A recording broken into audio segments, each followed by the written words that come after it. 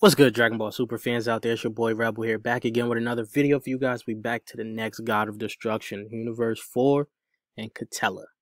Now, Quitela is a pretty interesting character, but still, not much is known about the character as much um, that I wanted there to be. But there's a little bit more than most Gods of Destructions. So let's hop right into it.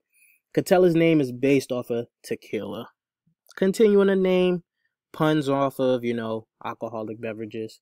Quitela was also designed by Toro Taro. I don't know how many designs, I forgot how many designs that Toyotarou actually made for the Gods of Destruction, but Quitela was also one of them. But anyways, let's move on to the next one.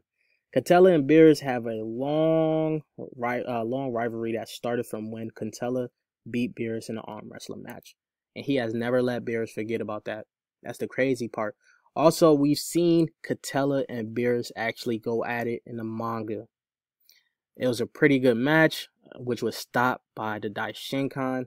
Wish that wasn't the case. I really wanted to see more of it. But anyways, let's continue. In the anime, Universe 4 made it to the final four standing universes and was the fifth universe eliminated from the tournament of power. Um, Universe 4 is the twin universe to Universe 9.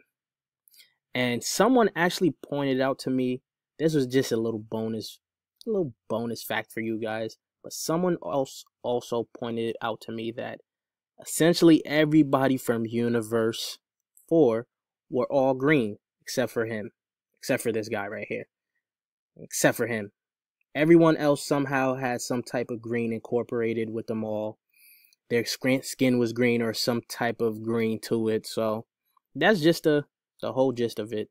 That was something I did never I never noticed until they pointed out to me. But let me know what you guys think about Universe 4. Leave your thoughts in the comment section down below. And if you haven't subscribed already, please do so. You guys already know the whole order of things. Hit that like button, hit that bell notification, leave your comment down below, and I'll check you guys later. Peace, YouTube.